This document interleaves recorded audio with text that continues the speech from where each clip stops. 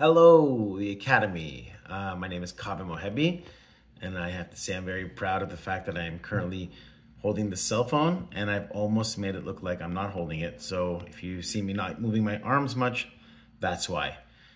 Um, to answer the question, what's one project or initiative that you've worked on that you're proud of, and why?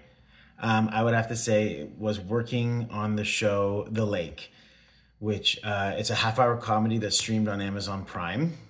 I'm proud of it for many reasons, but aside from the fact that it was Amazon's first Canadian scripted comedy, hold for applause. It was also my first real foot in the door in any writer's room, and it wasn't a small budget. It was it was a pretty big budget show for a comedy. Amazon had really pulled out all the red carpet for us. Um, I fell in love with my fellow writers. We are still very, very close to this day. We're like a family.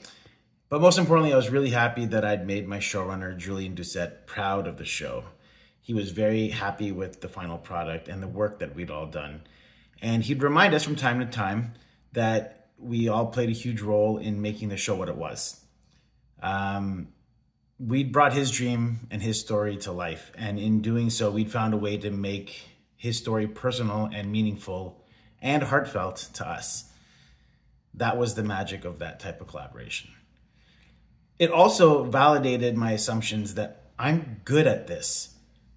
It helped me reshape my way of thinking. Instead of going from, please, please hire me onto your show, I'll do anything to make it work, I'd shifted my focus to thinking, yeah, hire me. I will make your show better.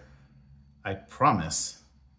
You're lucky to have me. I mean, it wasn't as arrogant as that, but it, the confidence grew within. So, um, yeah, also the money was good too. That really made my family proud. So there was a lot to be proud of with that project. Okay, thank you. I didn't think of a clever way to end this.